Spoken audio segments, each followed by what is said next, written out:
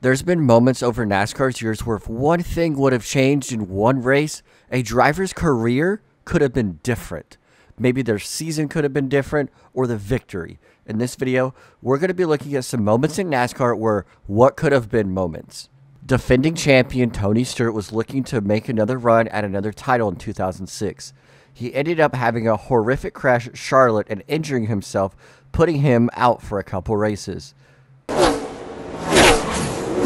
Wow. I mean, that was late exit. Tony's okay, but he's holding his right arm uh, and his shoulder, rubbing it. He's uh, grimacing as he gets out of that car, and he didn't jump right out either. So. Uh... The following day after this crash was the Coca Cola 600. He then crashed again, ultimately injuring himself even worse. Tony! Tony! Stewart. And, and caution will wave for the second time today. I tell you, that poor guy can't catch a break. Tough, tough speed weeks here in Charlotte.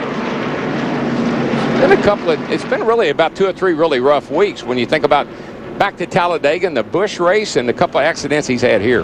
The rescue workers there. Man, he's hurt. Yes. He already had problems on the right side there. I tell you, it's so it's it's your ribs under your shoulder blade. It just he may have bruised them, but he probably finished them off right there with that wreck. Missing a couple races because of his injury ultimately hurt Tony Stewart's chances at making the 2006 chase. Missing the chase meant Tony Stewart could not win another championship. But in Tony Stewart fashion, he went out and won three of the 10 chase races. If he would have made the chase that year, he could have and potentially could have went back to back and claimed another championship. Now third, can he get to the finish? We work the final lap. Stewart down Stewart, the back. He looks like he's out of fuel. Should be quite a few more of them running out. Stewart's out. Can he coast around in time? Had that 17 second lead. Casey Mears is the second place car. Stewart slow through turn four, trying to reach the finish line. It looks like Casey Mears is out of fuel now. Casey Mears slow in turn three. Tony Stewart's going to take the checkered flag and coast across the finish line and win. That's unbelievable. Stewart takes the white flag last lap at Atlanta. Can Johnson get there? Can Kenseth get third from Earnhardt? And a car in the wall. The 07 car. Bowyer trying to keep it high on the track.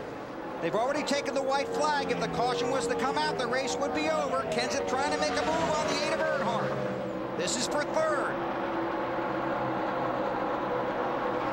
Oh, oh Junior's getting loose. So did the 17. Kenseth's got loose. Got on the apron a little bit. Tony Stewart takes the checkered flag. Tony Stewart won last week at Atlanta with a dominating run, strong pit stops, a good crew.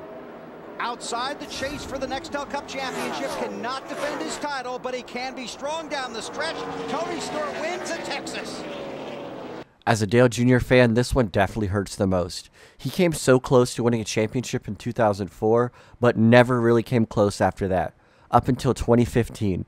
Dale Jr. had knocked off some wins in the 2015 season and was looking to make a run at the title. Jr. would pick up wins at two of his best places that season, at Talladega and Daytona. Four cars to settle it. Earnhardt trying to cover all spots. Dale Earnhardt Jr. Checkered flag at Talladega. Johnson second. To the bottom of the racetrack. Dale Earnhardt Jr. trying to stay in front of the pack. They work their way through three and four. Into the tri-oval they come. Dale Earnhardt Jr. to the bottom of the track. Jr. will win at Daytona. And the big one happens behind them. Oh my God. The round of 12 at the time was miserable for Dale Jr. He had problems at Charlotte and Kansas. Charlotte, he got damaged and ultimately set him back behind points. He entered Talladega in a must win situation. If he wins, he advances to the next round of the chase.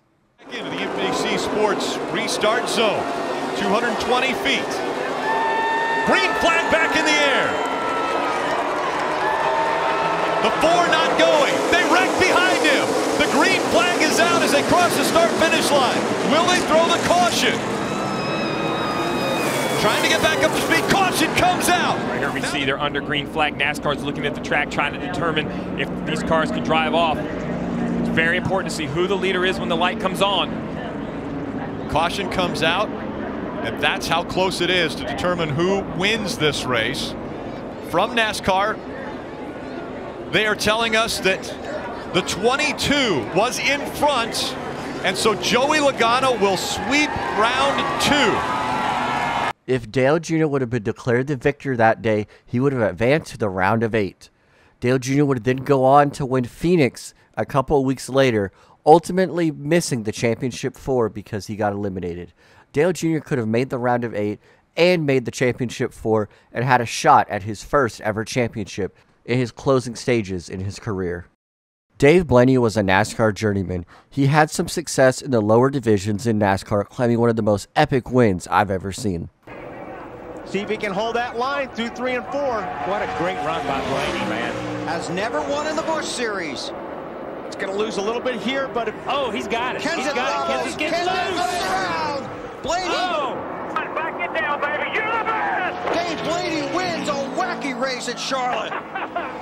In the Cup Series, Dave Blaney never really had a chance to show his talent. But during the 2012 Daytona 500, the biggest race of the year, there was a red flag because Juan Pablo Montoya had hit the jet dryer.